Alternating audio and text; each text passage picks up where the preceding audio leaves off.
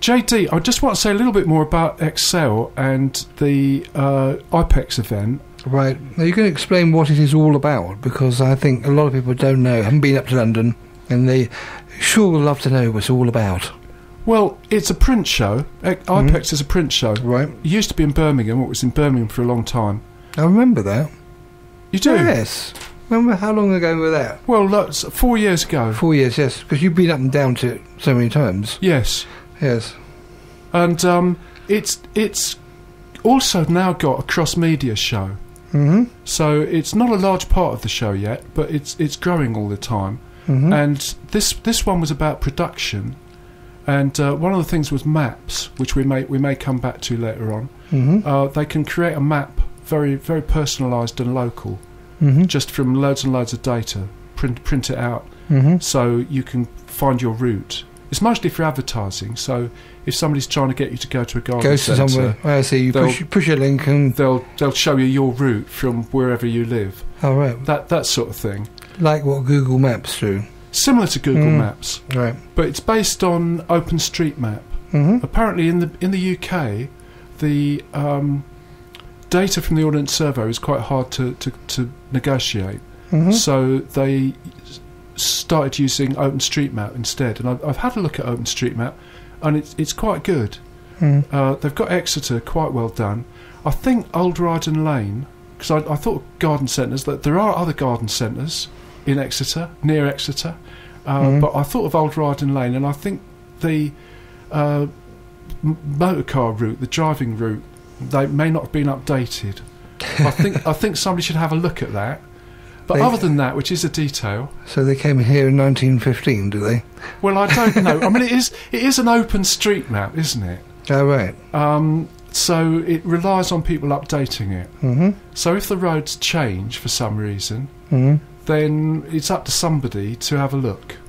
But I, I think people in Exeter should try and make sure the open street map is up to date for the Exeter region because uh, it can't do any harm. And um, it also, it turns out that the Ordnance Survey, maybe their, their policy has changed, but they've, they've got quite a lot of open data.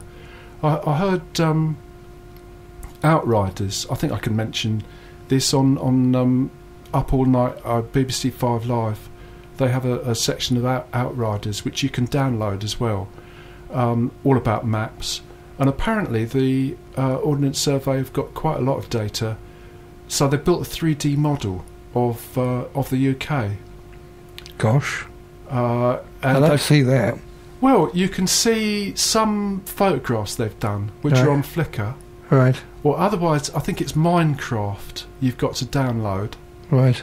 Uh, and then you've got to download about 150 megs of data. Gosh. And then you can create your own perfectly free. Uh, that takes seven days. Yes, go on then. Well, anyway, this is where I got to. I would never have found out any of this if I hadn't been to the um, the cross media production show, Right. um, where my information that I got there wasn't quite right. I think the the Ordnance Survey might be a bit more open than I gathered in the first place. Mm-hmm.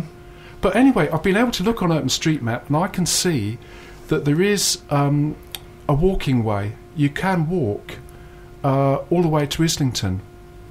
Uh, it's not easy to follow the River Lee to the Olympic site. You have to go to Limehouse first of all. Then there's um, a cut which comes back to the River Lee. Otherwise, you've got to go through streets. But it's all on Street Map and I think it's a, quite an interesting walk because there's going to be a cross media event, I think in October, in uh, in Islington. So, um, I mean, you can find these places, Excel and and um, Islington, on on the tube or the light railway or wh- whatever. But I think if you can walk there, it makes more sense to somebody like myself from Exeter.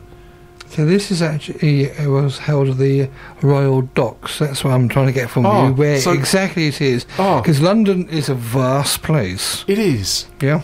Uh, yes, it's the Royal Docks. Mm-hmm. which is um, well, it's very far. It's, it's quite a long way east, really. Um, Yes, it and, is, and yeah. that's why that's why I'd like to know how to walk there because that would What from you, here? Well, no, from anywhere. well, well, best of all from the, from the Olympic site, because it seems to me Yeah. the River Lee is a bit. It's a. It's not been designed for walking really, and as I say, in Exeter, you see, we could we could walk from Double Locks to the quay, or from the quay to the station. We could do that quite easily, couldn't we? Mhm. Um, it's quite a clear wa- walkway. We could map it quite easily. We could talk about maps or data or communication or advertising or radio or print as we went. We could have quite a sensible conversation. Whereas in, in London, you sort of get onto the light railway, which you can find, allegedly, you can find it uh, near the bank or monument, but I never have done the the Tower Gateway seems to be the, the most obvious station, and then you sort of get on this crowded train, and eventually you, you get off it. But where it is, I wouldn't like to say really. Well, I'm looking at a Google map of the docks because I've never Oh. been there myself, so it's Right. quite interesting. It's quite vast, isn't it? It is vast. Yes, it's a very vast area. But then again, you see, um, some of us wouldn't want to venture up that way. You wouldn't want to go there. no, I I used to live up in in um, Hertfordshire, on the other end of the River Lee, which you were talking about. Oh right, yes, The River Lee used to get at the bottom of my, my road. yes. Um, and I used to go to London uh, with school and everything else like that, but uh, I, I come back so exhausted. You know, it's nice to get home again. it's too exhausting, you know, even to drive through is, you know, I wouldn't want to do that too, too often.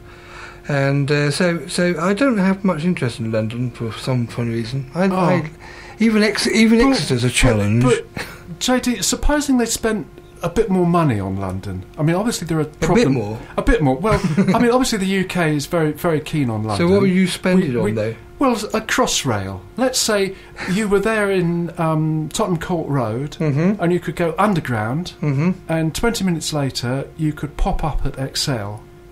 Well, So I- you wouldn't know where you were. And If it- they had, you see, if they had a helicopter yes. which could come pick me up from anywhere and take me somewhere, then I'll probably enjoy London. Then you might do. I might do, but I think it's too much. Um, uh, everything I don't know. It's just a vast place. You know, um, I've, I've had relatives who lived in London and uh, trying to driving through London to them is just that was the hardest bit of the journey, not. driving on the M5 or uh, sorry the M1 So really, we're, what we're saying is that we like we like the World Wide Web. hmm You're very pleased with your Hudl, Yep. but having seen where it is and how we might get there, hmm we'd be just as happy with um, a website. Well, I think you know because this technology is so vast now, it's getting quicker and quicker. Everything I find now in the last uh, you know fifteen years, Yeah. it's gone one big step. You know, you can do absolutely anything on it Yes. from from anywhere, wherever there's a you know Wi-Fi point or whatever. So why not bring these things to the web much more? And uh, incorporate them as part of the whatever you're going to, so you don't have to go and s- sit there or go walk around something. Which you do, when you arrive there, you have very little amount of time anyway. You've got to spend a few days there to actually appreciate yes. the whole Yes. the whole thing. Yes. So you're spending a lot of money, you see. So why do you not spend it on a website or web thing which people can actually, you know, can actually experience it in Australia? Yes. well, obviously, for people in Australia, I mean, very few people from Australia came came to uh, to London for, for this show, especially. Yes. But the ones who did did spend a few days, I would think. Yes, well, they would would have to, wouldn't they? So yes, so I, I think you know to, to actually branch this out, out a bit more, and So, and- do you think a, a small place like Exeter? I mean, I say small basically because you can walk across it, the Yes. central bit, in Yes. about half an hour. Let's say. You Um, could just have sort of seminar rooms or discussion points, you, a bit have of information, and have- maybe it would work just as well. Well, you could have um, you could have a lot of things happening. Well, you do have a lot of things happening here in Exeter, and I could enjoy them down to where I live by using the uh, my Hudl, going my Hudl. Uh, So you wouldn't have to come into Exeter either. no, no, but that, that's that's the thing is, it, it- you know, I know you come here and spend money, and that's what they want you to do, and that's what they like you to do, but you could you could spend money on the web quite easily. You couldn't buy a sandwich, could you? Yes, you can. You can. Yes. You'd My have it- machine, my machine does everything. and, the, and and the sandwich could be delivered. And would that help the sandwich bars of Exeter? um, probably not. No, Oh, a long way for them to come. well, no. What, No, I'm, what I'm saying is that you, you either you either limit it to only the people who are going to come in the front door, mm, or you do you want to branch out and spread what you are or what you're doing amongst other people around the world or around the country. Well, I think it's all got to be mixed. hmm We got the idea of being flipped. They're talking about the flipped classroom. Flipped classroom. The gosh. flipped classroom. That's before my time. no, it's after your time. it's before it as well. well, it's it's an idea Mhm. that whereby um, your homework is watching videos of the content, hmm and when you get to the class, you have discussion, investigation, such as you might have done outside of the classroom. Well, that's what I'm talking about. You see, is that you if you can find the information about your course in your own time. That's what I, that's that's why I like to. If somebody gets says, you know, how does this computer work? I say, well, give me six months and I'll work it out myself. And I like working it out. So if you if you're trying to find something, I will pref- like to find it out myself because that's a part of the the learning process. Yeah, but suppose you do get stuck once in a while going to some sort of trade event where somebody actually knew all about it and could point you in the right direction. But you've got to find that person. You've got you? to find that person. That's right. You've got to But know where you're going. But you've got to assume if, well, Hewlett Packard weren't there, but let's assume Mm-hmm. In in the fullness of time, in their own good sense, Mhm. they come up with, let's say, a 3D printer Mm-hmm. sometime next year, Mhm. whenever they deem it Mm. to have reached the maturity of product they're likely to support. Mm-hmm. Um, would you assume that if you went all the way to a, uh, the 3D trade show, let's say there's another event in Exeter, Mm. uh, and you went to the HP stand, Mm. they would know what you were doing wrong, assuming you had got stuck. I mean, I'm not saying that you wouldn't find out how it Well, worked, it but depends on how you got stuck. well, th- yes, that's true. If you're if you got stuck of how to assemble it or how to use it, mm. well, you can get all that on on websites galore. So there's Ah, so there's probably no no reason need to go it. to no no need for it. But the Well, it is but the- true. It is true, JD. They Yeah. weren't there. There was Yeah. no sign of Hewlett Packard. uh, So maybe they agree with you. Yeah, well, I, well, I maybe think, maybe there is no reason to be there. yes, that's why why the companies are spending so much money on that when they can actually get a bigger audience Mm. somewhere else, you know, through the Well, web. well. Um, I've I've been arguing. I think we've been talking for quite a long time. And I've I've been trying to make a case for the trade show, for Mhm. the printing industry, for packaging in real time. Packaging. Packaging, because you see, JD, you've managed to create using a little app on your Hudl Yes. a pic- a picture representation Mm-hmm. of um, a coffee cup Yep. and a T-shirt, Yes. both of which have microphones, which may or may not work, but but are proto- they are prototypes of um, a possible application for printed electronics and design, and the extension of radio. But then again, you see, I found that all out. You see, You found that you out? I found out what what apps I can put download Yes, and how they're used. yes. So I've done it for myself, not somebody sitting in a trade stand. I've gone with my, my machine and says, "How do you get that?" I've worked it out myself. So if we if we uh, rely on people to tell us how to do it, Yes. then we lose that inhibition to to actually desire to actually find out ourselves. So I I can see what you what you're getting at, but I still think there's some sort of mix that would be would be valid. I, I can't imagine. The only good thing about trade thing is the interaction between people. Yes, That's the only th- only good thing about it. But you can do that in a coffee shop, you can. and that could be just around the corner from where you are. You don't have to go all the way to London to find out something which you probably already knew. So really, you're arguing against um, big stands with equipment.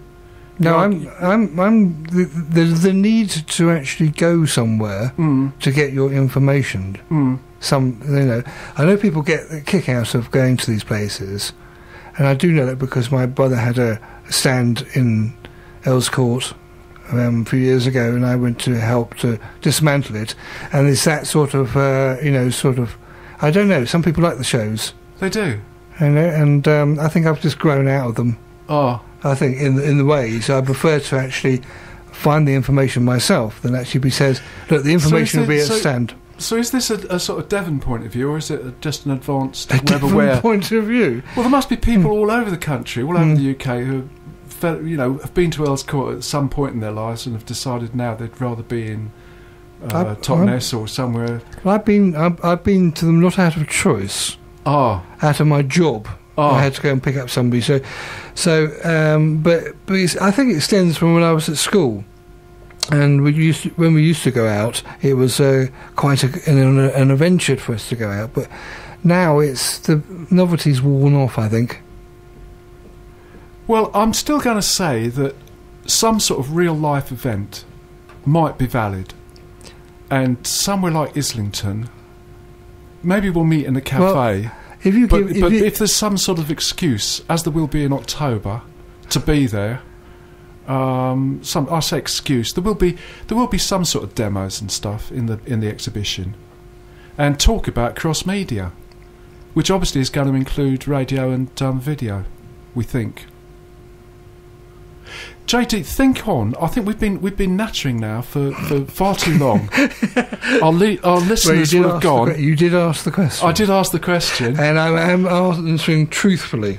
Yes. Well, I'm not going to edit this. I will put this on YouTube, and um, the people who organise exhibitions Hmm. and the people who try and explain how to get to Excel. I'm not knocking them as a whole. I'm just saying that for me, Mm, I wouldn't want to go to an exhibition because of it, because of the time span and the amount of money you spend for it to find out the answer which you can get on the web for free sometimes.